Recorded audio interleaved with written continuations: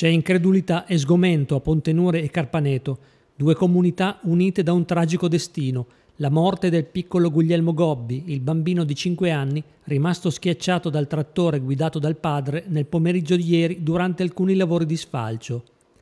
La tragedia è avvenuta lungo la strada Cervellina nel comune di Pontenure, dove il papà del piccolo era alla guida del mezzo intento a tagliare l'erba del ciglio stradale, mentre il figlio sedeva vicino a lui sul parafango. Improvvisamente l'attrezzo agricolo ha agganciato un vecchio ponticello di ferro che scavalca il canale a fianco della strada, facendo ribaltare nel fossato il trattore.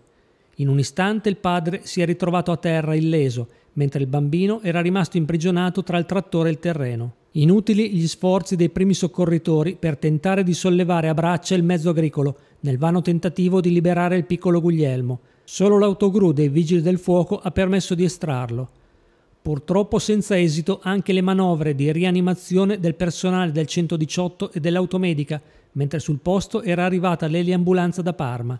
Successivamente è iniziato il lavoro dei carabinieri per ricostruire l'accaduto. Sono intervenute le pattuglie di Pontenure con il maresciallo Luciano Salatino e i colleghi del nucleo radiomobile. Sul posto anche il maggiore Stefano Bezzeccheri, comandante della compagnia di Piacenza. Il magistrato Antonio Colonna ha disposto il trasporto della piccola salma alla Camera mortuaria di Piacenza mentre il padre, come avviene in questi casi, verrà indagato per omicidio colposo.